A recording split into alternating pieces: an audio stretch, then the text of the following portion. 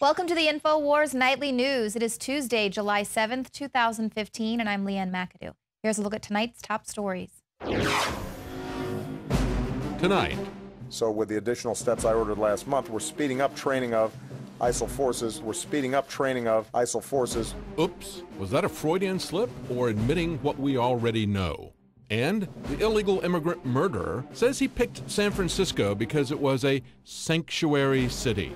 All that and more on tonight's InfoWars Nightly News.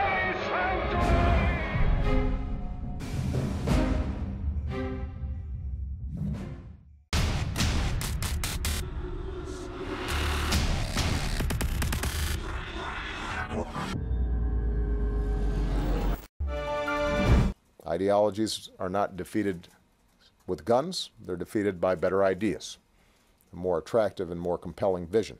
Better ideas will defeat ISIS. That's Obama's plan for defeating ISIS. Maybe you should have thought about that before flooding the Middle East with guns.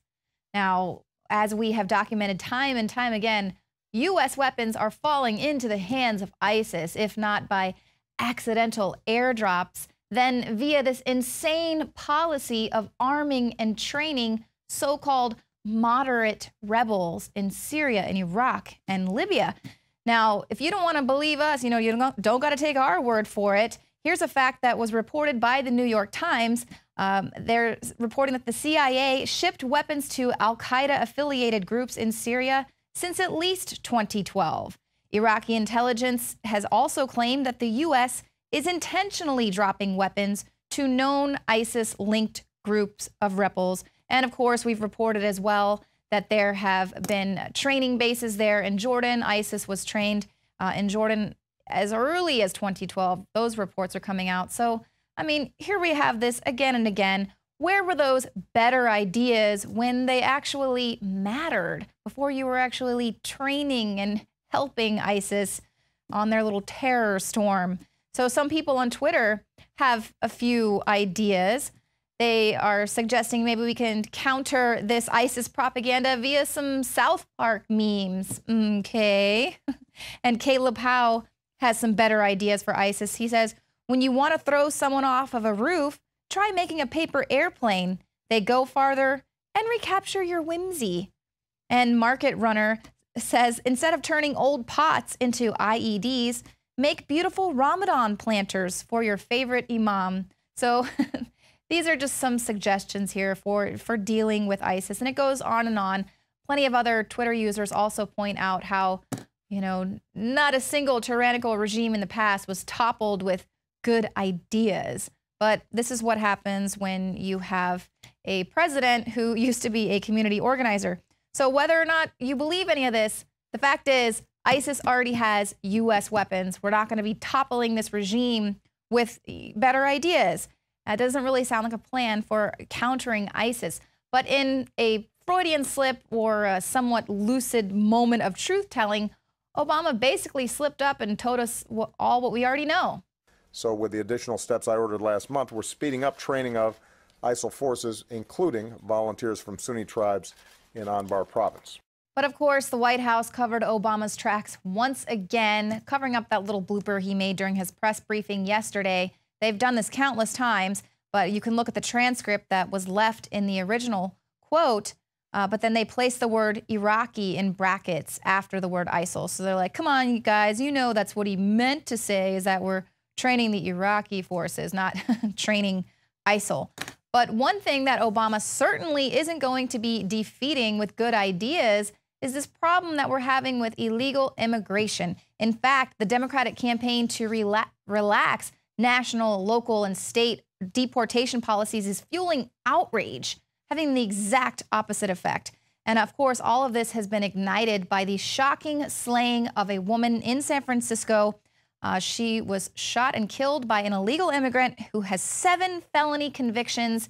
He had been deported five times. This is Juan Francisco Lopez Sanchez, and he said he chose San Francisco because he knew that it was a sanctuary city and it would not hand him over to immigration officials.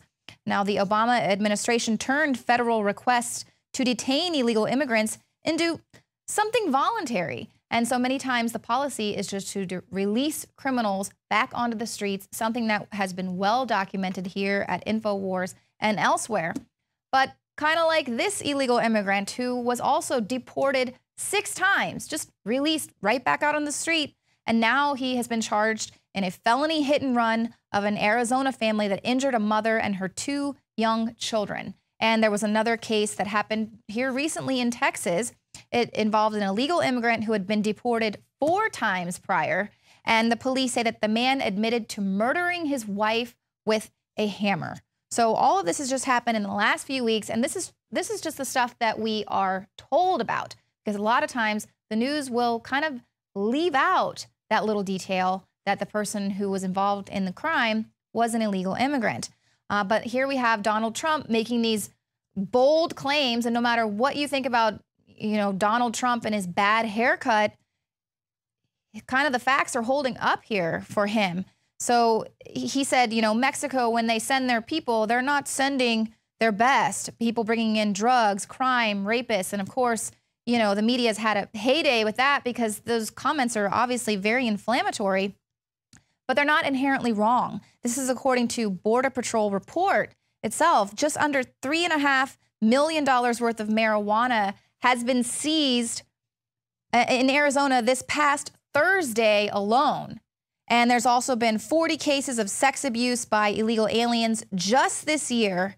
And that's just from what Border Patrol has posted as media releases on their website. And a staggering amount of those cases involve children and minors. So, however you feel about Donald Trump, you honestly can't refute what he's saying. So, it's the truth, and it's not any less true just because you don't like him or because there are people out there who wish to deny the facts. Illegal immigrant deported six times, charged in felony hit and run, a family that injured young children still in the hospital. Meanwhile, the San Francisco sheriff defends releasing killer, calls Trump an opportunist. That's the sheriff of San Francisco County that had released the five-time deported, seven-time felon who had shot the young woman, Francisco Sanchez, just did it for no reason, according to witnesses, and then now he says he was shooting at sea lions or it was in a bag, he didn't know it was a gun. I mean, believe whatever made-up story you want. We better just let him go or we're racist. This is how to paralyze people. Now Trump says infectious diseases is pouring across the border. Well, that's true. It's why you got to take all the medications when you go down south. I mean, it's just crazy. It's like saying when Europeans came, they didn't bring smallpox. It's just a fact. But now he claims the gun went off accidentally, uh-huh, and then it was wrapped up.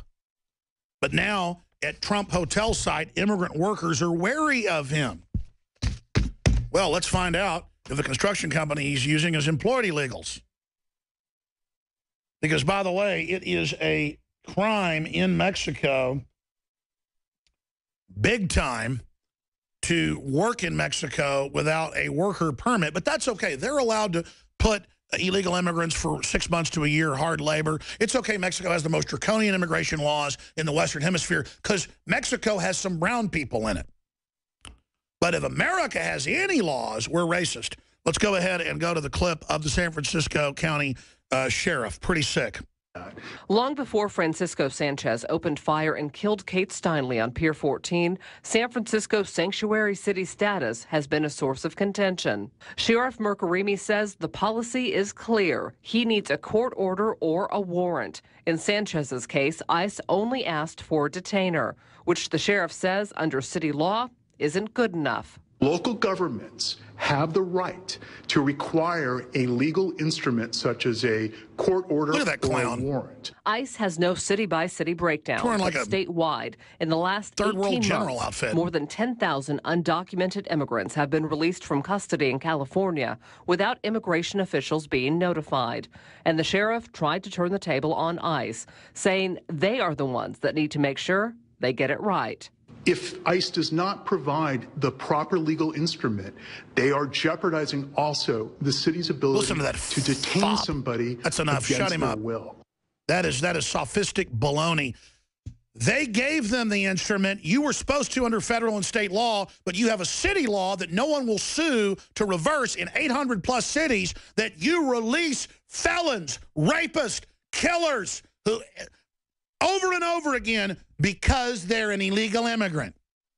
Oh, you'll turn a citizen over when they've been incarcerated for a state issue if there's a federal felony for something, but not if it's an illegal. So the White House actually blamed congressional Republicans Monday for the death of that San Francisco woman, even though she was shot by a repeat offender illegal immigrant. And they also blamed a spate of gun violence last weekend um, in President Obama's hometown of Chicago on those lax policies, obviously overlooking the fact that Chicago has some of the toughest gun restrictions in the country. And it was the policy of creating these sanctuary cities uh, where that they don't honor uh, immigration detainer requests. So that means that criminals are just released. There's no communication there with ICE and local sheriff department and all of that. So this is a big problem. But, you know, they don't really want you to look at that. They don't want you to know that they're releasing illegal alien criminals out into the streets. Meanwhile, a Marine Corps veteran is facing life in prison for growing medicinal marijuana plants when he lived in Oklahoma. These are plants that he relied on to treat severe PTSD. Now, that's coming up later in the show. We're going to have an in depth report about that. That's infuriating to know those facts. But first, it has been 10 years since the worst terror attack took place on British soil. We have bombs ripping through three tube tunnels and blowing up a bus, killing 52 people, injuring more than 700. Now, these attacks were carried out by four bombers that were linked to Al Qaeda. Now, Alex Jones went to the UK immediately following these attacks, and we're going to uh, just give you a little bit of a flashback here with Terror Storm. Let's fast forward to the horrific attacks of 7 7 in London. Prime Minister Tony Blair, leader of the Labour Party, was facing an uphill battle in parliamentary elections.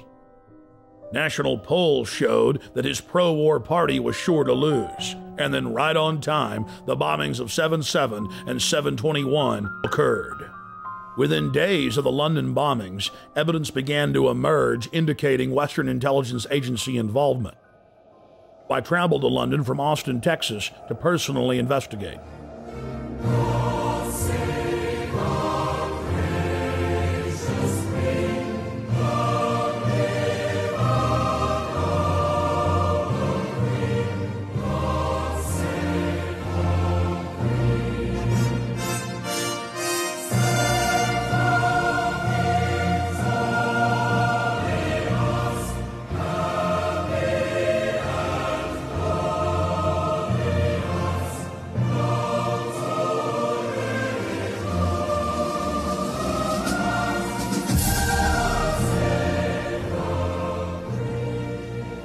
Once I arrived, I was met by Paul Joseph Watson and his brother Steve Watson, who are reporters for my news website, prisonplanet.com.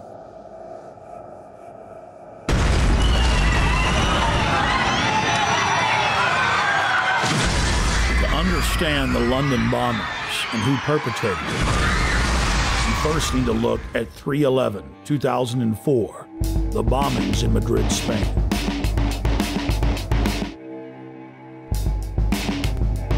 Years after the blast that rocked trains in the city of Madrid, Spain, the government admits that Al Qaeda had no connection to the attacks. Every one of the supposed bombers had intimate links to the Spanish security services, including the head of their bomb squad.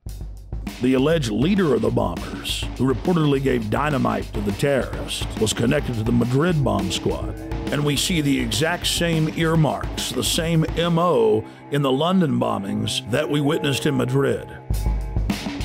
On the morning of July 7, 2005, three trains and a city bus were ripped to pieces when four military grade explosive devices detonated.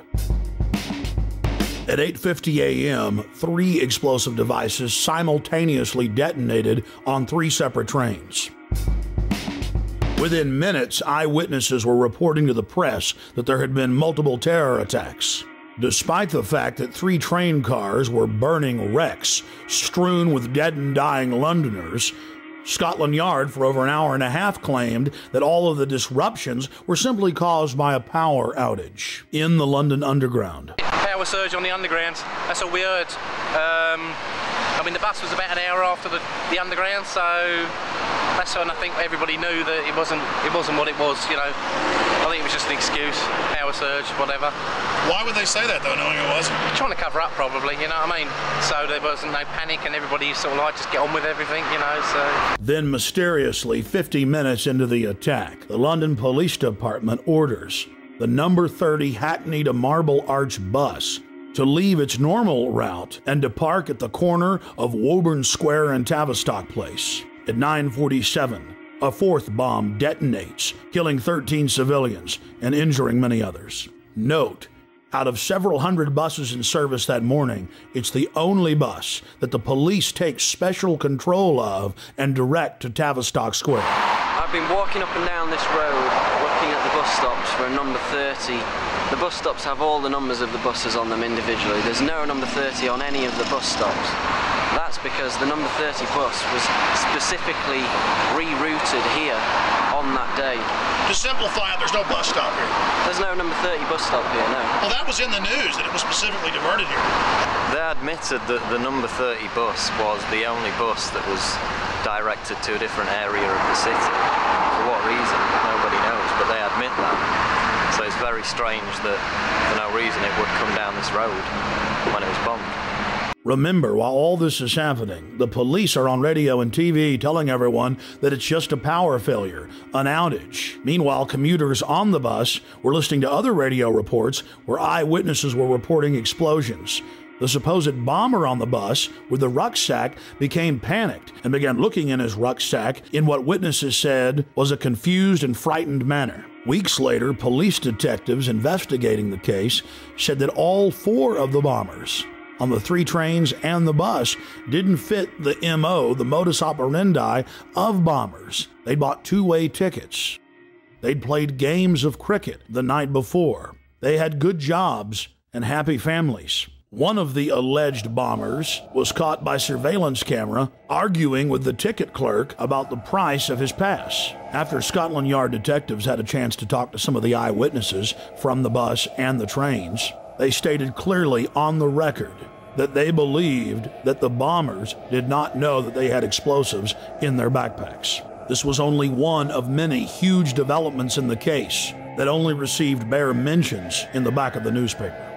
The July 29th edition of Fox News Channel's Dayside program revealed that the so called mastermind of the 7 7 bombings, Harun Rashid Aswat, is a British intelligence asset. Former Justice Department prosecutor and FBI terror expert John Loftus exposed the fact that Aswat was being protected by MI6 and was clearly under their control. Aswat is believed to be the mastermind of all the bombings in London. From on the 7-7 and 721, this is the guy we think. This is the guy, and what's really embarrassing is that you, the entire British police are out chasing him, and one wing of the British government, MI6, or the British Secret Service, Right. has been hiding him.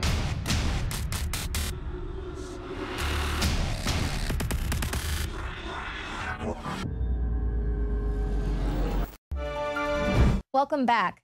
Joining me in studio now is Rob Dew with some updates on the Sandy Hook case. That's right. Uh, we've had two different FOIA hearings uh, up, up at Sandy Hook with Wolfgang Halbig leading the way, along with his attorney Kate Wilson.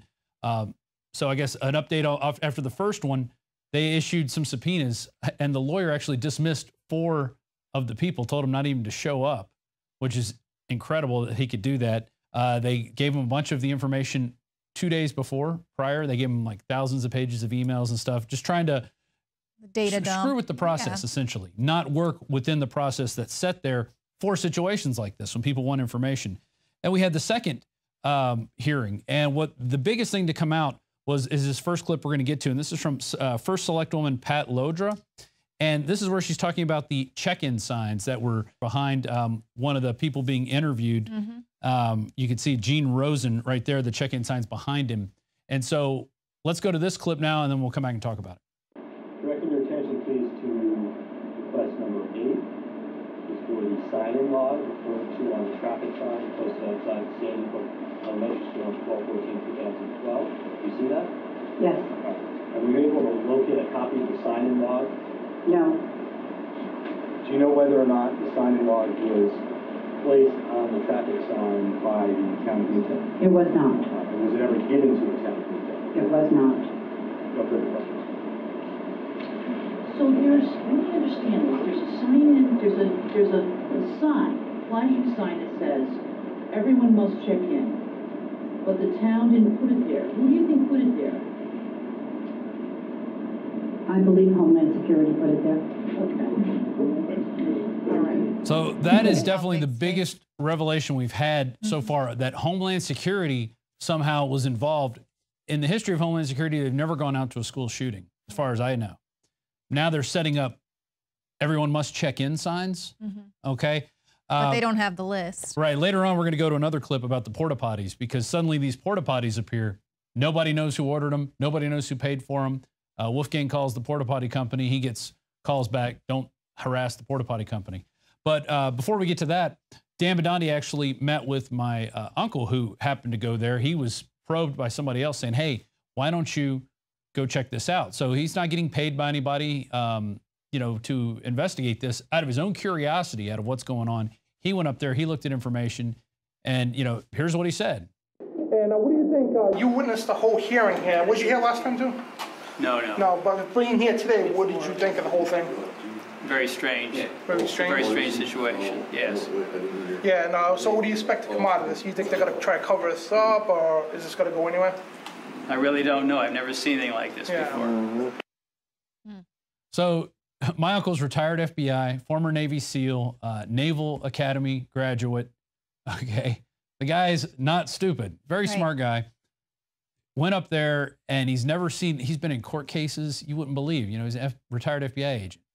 Um, never seen any uh, court proceeding ever go like this. He doesn't un- un- understand why they don't want to give the documents to the people. He doesn't understand why they don't have documents. He said this is very odd, especially when you got bureaucracies. And, you know, Connecticut, you know, you have bureaucracies entrenched. They've, they've been a state for so long. So they have this stuff. And you can, you can go through the, the hours of the hearings. They talk about how the school board has every record back for decades, decades, yet they don't have permission slips or anything having to do with this trip that they're taking the Sandy Hook Choir to the Super Bowl. No mention of it anywhere. Oh, we're just going to send the kids to the Super Bowl. No big deal. You know, crazy. Now I want to play this last clip. Uh, was this is the select woman again talking about the porta potties, and actually have clips.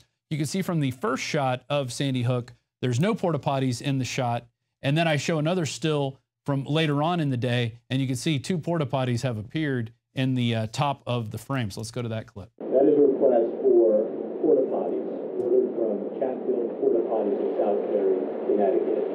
In particular, um, a copy of the bill for installation and use of the porta potties referred to uh, order for use on December 14, 2012. See that? Yes. All right. Um, do you know whether or not porta potties were delivered to the area surrounding the Sandy Hook School on 12/13/2014? I have no knowledge of that. Did the town order porta potties on 12/14/2012 or anytime around that date in the Sandy Hook School? Absolutely not. Did the town pay for any porta potties that were, that may have been delivered to the area on or about 12/14/2012? No. And no invoices obviously were received by the town during that period? None. So there you go. Right. And we saw Porta potties whole, just magically appear. You Yeah. can see them on the top of the frame there. Uh, the reason I show that white circle, uh, the circle around the white building, is to show this is the same shot, just a different angle of of, of Sandy Hook School. Right. So and and we now, saw the driveway was all blocked off for the entire day. How'd Right. they get him in there? yeah, yeah, we couldn't get an ambulance down there, but hey, we get the porta potties in. You know, amazing, amazing. And now it looks like tomorrow they're going to have the final closing arguments and the decision with the entire uh, board there instead of just one board member Mm. there. It's going to be the whole thing. And, and, and I guess we have Dan Bidondi on the line to talk about that. So, Dan, you've been sitting through over four hours of these hearings. What's your impression of the people of Sandy Hook, how they're reacting to this Freedom of Information Act requests? As I said in uh, both interviews with, with Wolf there, wow, that's all you can say. And um, I've never seen anything more dazzling in my life in court cases. And uh, these people lying blatantly on the stand, I mean, they have no clue what the hell is going on in their own town at that, or they seem to be that way anyway. But I mean, it's just, it's really crazy. That's the best word I could come up with crazy, wow, like I'm bazzled. I really am. Yeah, and earlier today we played that that short interview you did with my uncle. Um, how did you figure out that he was even that he was related to me at that point?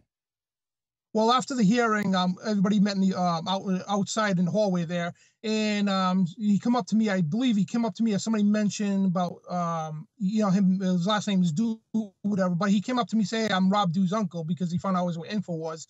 So right away he said, "Hey, I'm Rob Dew's uncle," and um, right away I shot a quick interview with him.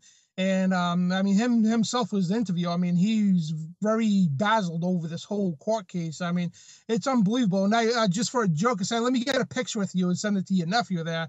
And you're like, "What the hell are you doing, my uncle?" Uh, you know, it's hilarious. Yeah, I was I was very surprised to see that. And now after the second hearing, you actually tried to question uh, Chief Kehoe. He he, I guess, recently resigned, like maybe announced it the day before.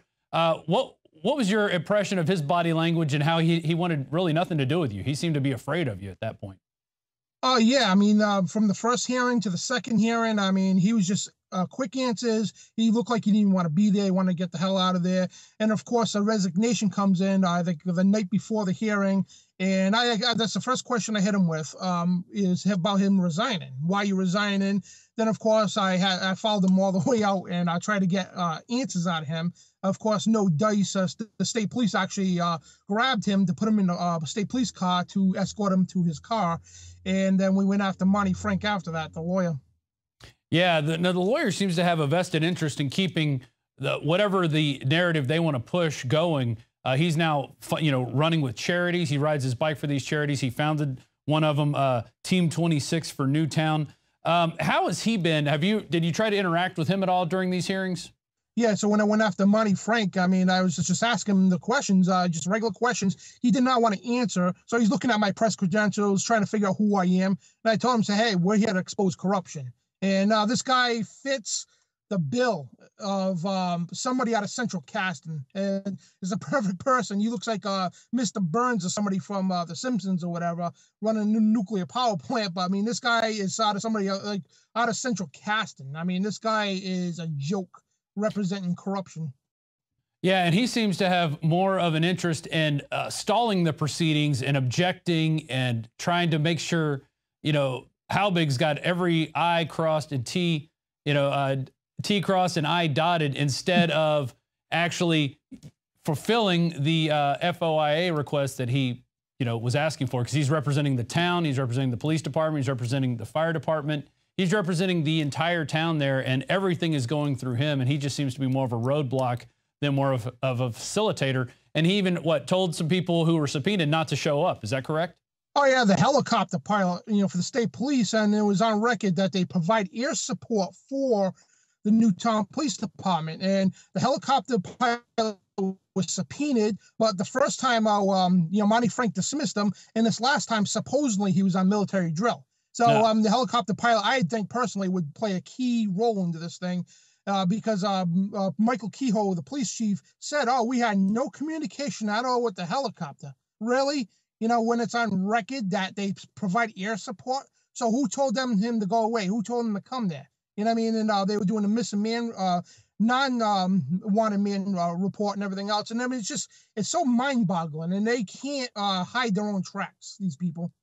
Yeah, totally agree. And you're going to be there tomorrow. Uh, we're going to Yep. live stream it from, or actually, you stream it from our UStream channel. We'll put out a article with that tomorrow so people can watch. And then you're also going to be shooting some high quality HD footage. Uh, tomorrow, I definitely want you to get an interview with the attorney, uh, Miss Kay, and also Wolfgang. Uh, a good, strong interview summing up everything that has gone on, including with the decision is going to be. So we're going to break that tomorrow as well. Thank you for joining us, Dan Bidondi. Thank you.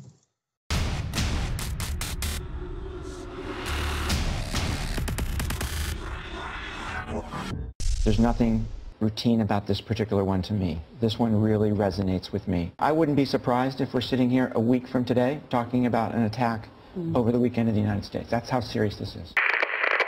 That was a former member of the CIA, Michael Morell, who stated he had a very serious concern that over the 4th of July weekend, the United States could endure some type of terror attack. Now, to be fair, right here in the city of Austin, we did have an attack. A gunman entered a hotel, opened fire, but was promptly killed by police officers. It was more than likely a one off incident without ties to any larger plot or scheme. And as is unfortunately usual, there were many people also shot in the city of Chicago. And the goal of a terrorist, whether they be domestic or foreign, is to alter our way of life. We often hear that a terrorist hates us for our freedoms. So, with all these alerts coming out from the FBI, from DHS, you know, whether it's somebody from the CIA, I'm very curious how safe people feel in the United States of America. Miss, can you tell me uh, what you did for your 4th of July weekend? At work. Okay. Did you want to do anything? If you had any other choice, would you have been doing something else? Yes, I would have. We went to Auditorium Shores. Saw the fireworks. Fireworks. I'm currently on a road trip across the country, and we decided to be in Austin for the 4th. We kind of just wandered around, um, had pizza. It was pretty basic, but it was really enjoyable. Did you hear anything from uh, the FBI alerts and the Department of Homeland Security alerts, uh, their concerns about potential terror attacks on the past weekend? No, I did not. I have not. No. No. Had you heard those, would they have altered your plans at all? Probably not. No. Yeah. I don't we think felt so. pretty safe. Yeah. Yeah. It's just the news and alerts are so predictable. I don't even watch the news anymore. They s- talk about what they want you to hear and what they they want you to know. And you know, they don't know that we know is it's kind of like a setup. Like, oh, okay, we're just gonna say this so we can disturb your plans. So yeah, I just stopped watching the news. It's everything's predictable.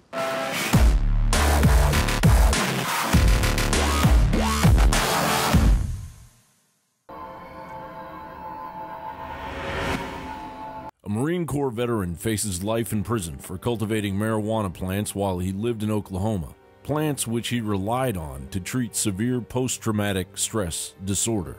Last year, police raided the home of 33 year old Christopher Lewandowski, a military father of three who was honorably discharged for medical reasons after serving multiple tours of duty in Iraq and Afghanistan. Christopher's wife, Whitney, reveals her husband, fearing liver damage from consuming a massive amount of pharmaceutical drugs, was successfully transitioning to marijuana as a preferred treatment. Whitney says he was just using it. He couldn't get any, and of course, we're a military family. We're very poor, we couldn't afford to buy it anyway. So he was just growing it for himself. He was on his way out of the military and just wanted to see if it would help. Police were summoned to Lewandowski's Geronimo residence in June 2014 after neighbors reported him suffering a PTSD episode. Amid the emotional breakdown, Whitney brought their three children to the neighbor's house in an attempt to defuse the situation. Rather than provide the former soldier immediate medical attention, police proceeded to conduct a search of Lewandowski's home for drugs, locating six marijuana plants. Police charged Christopher with felony marijuana cultivation, possession of drug paraphernalia, and domestic violence, a charge which Whitney admits to have filed against her husband at the behest of the officers. The former felony charge carries a possible maximum fine of 25,000 and anywhere from 20 years to life in prison according to Oklahoma statutes. Lewandowski's wife, Whitney, expressed the kind of help he got was being tossed in jail. Speaking of help, it should come as no surprise you won't find any at the VA. Post traumatic stress sufferer, Iraq war veteran Chris Dorsey was told by a desk clerk at the U.S. Department of Veteran Affairs Clinic in Georgia that they aren't accepting any new patients. Pretty good. How about you, sir? All right. Be doing a little better if I wasn't here, but. I have, uh. Over in the, uh, I was on Athens Clinic. I lost my job over there and I need to switch back over here. We're not accepting any new patients. The VA's not accepting any new patients. Not this clinic. Okay. All right. Appreciate it. I wonder why 22 killers over every day. Good job. This was the second facility Dorsey had been turned away from in a matter of days for his post traumatic stress, even though it was PTSD Awareness Month. Both of the facilities he visited failed to tell him of special treatment available to him as a part of PTSD Awareness Month. My name is Miguel Roberts. I'm a clinical psychologist with the DCVA. I'm the director of trauma services at the PTSD clinic. So PTSD Awareness Month was started in 2010 by an act of Congress that established June 27th as PTSD Awareness Day. And we think that that's important because to educate veterans about the signs and symptoms of PTSD, that help is available. Essentially, the VA the creator of PTSD Awareness Month, was unaware of PTSD Awareness Month. Mr. Speaker, today I rise in recognition of the National Post Traumatic uh, Stress Disorder Awareness Month. Nearly one third of Iraq and Afghanistan veterans who receive VA health care in the decade after 2001 were diagnosed with PTSD, and the numbers are only expected to climb, unfortunately. As our tax dollars burn in the wind, Jon Bowne for Infowars.com.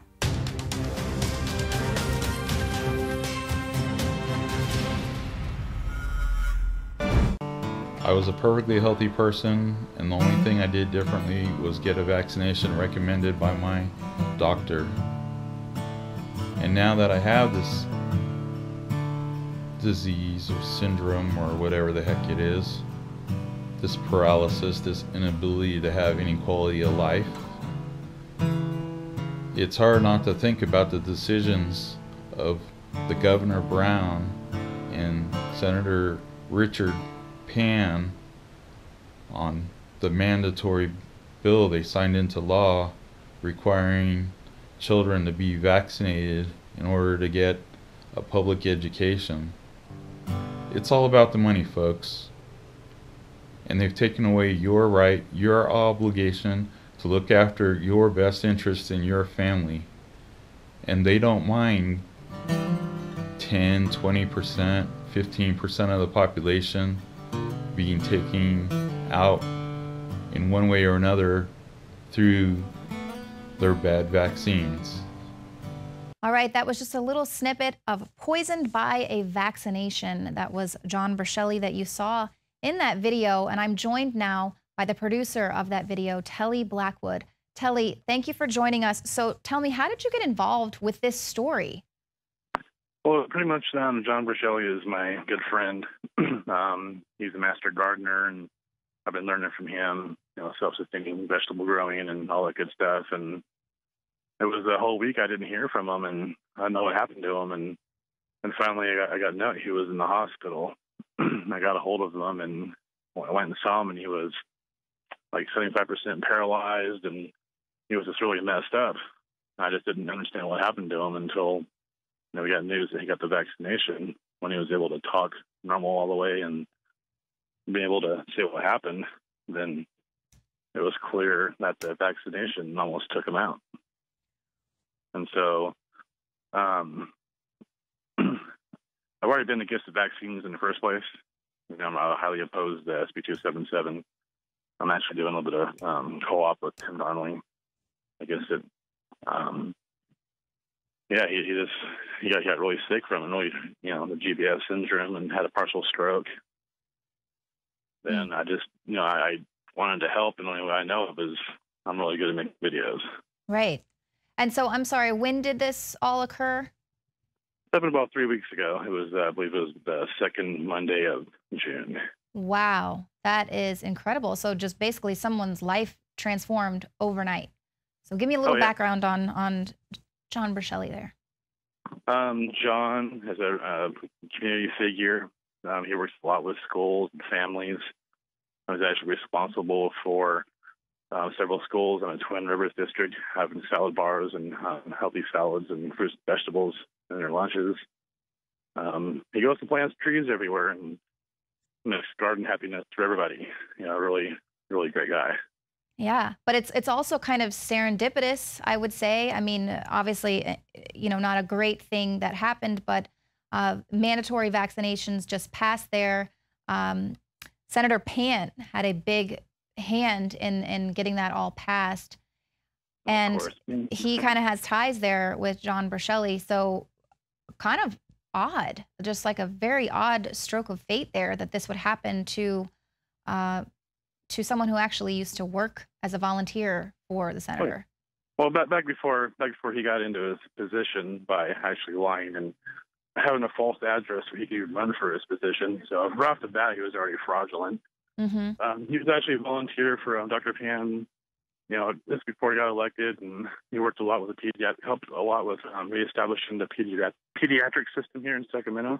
Mm-hmm. Um, he was involved in a lot of good, wholesome stuff. And after Pan got elected and got his funding from Big Pharma and the university, who you know pretty much bought his election for him anyway. Mm. And you know, down the road, a couple of years later, and here he is, half dead. You know. Yeah, and so tell me a little bit about uh, what happened. What was the the vaccine that he took, and and a little bit about that. I mean, because this was just a couple of weeks ago. Yeah, originally I thought it was the Tdap. Um, what what we've seen, it was just a three in one: the whooping cough, um, tetanus, and something else I can't pronounce. That was the that was the main vaccine he got. Um, he had gotten on the Monday. He was the doctor. He just got done with his physical. He just got his lab results back. Everything was, you know, a very healthy, you know, man. Mm-hmm. And doctor suggested, "Hey, let's get this, you know, get this shot. You need it." And he, he was very reluctant to get it. And doctor said, "It'll be okay.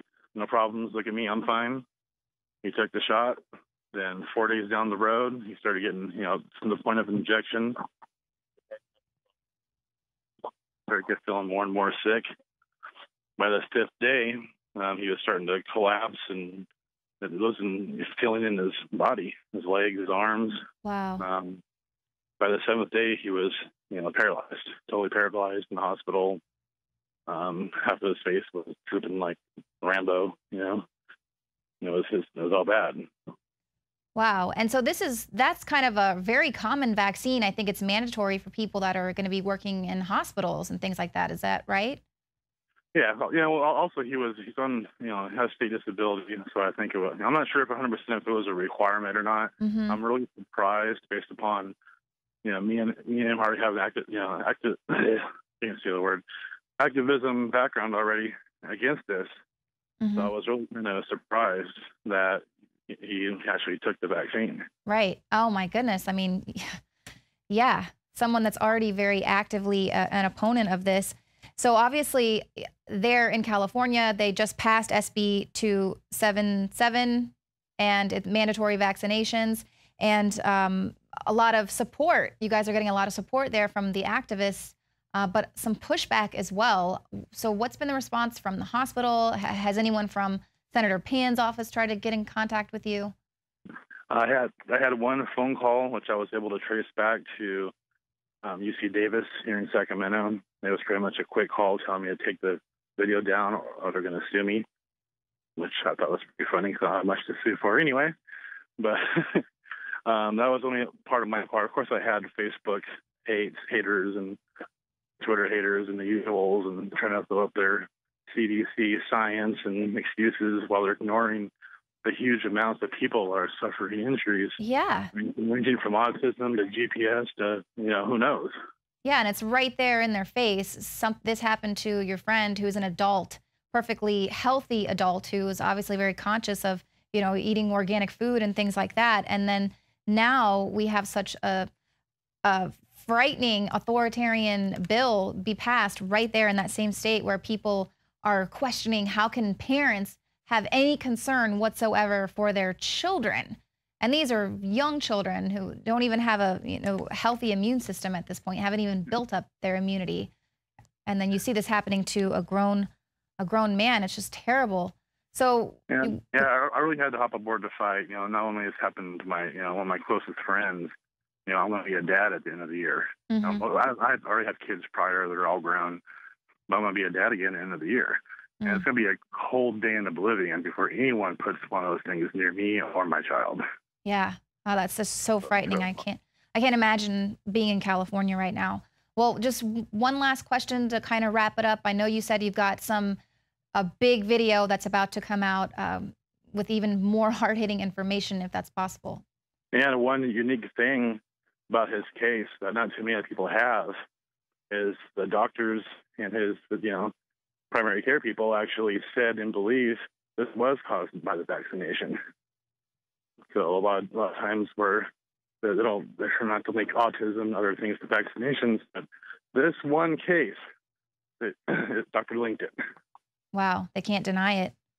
And talk to Nope. me just quickly about the video you've got out today.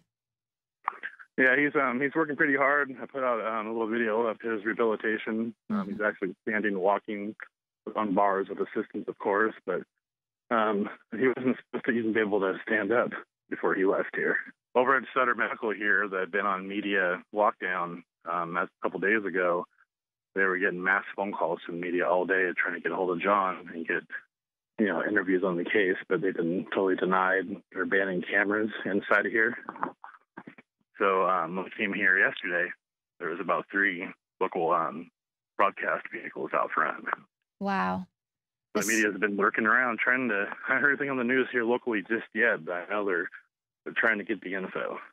Well, Telly Blackwood, tellyblackwood.com. Everybody, make sure you go check out this video, share it with your friends, share it on Facebook, on Twitter. Get the word out there. Let people see that there are repercussions sometimes with vaccines. Yes, it's very rare, a very rare instance, uh, but it does happen.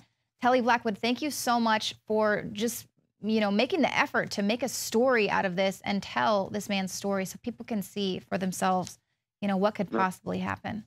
No problem. I'm just getting started. That's it for the show tonight.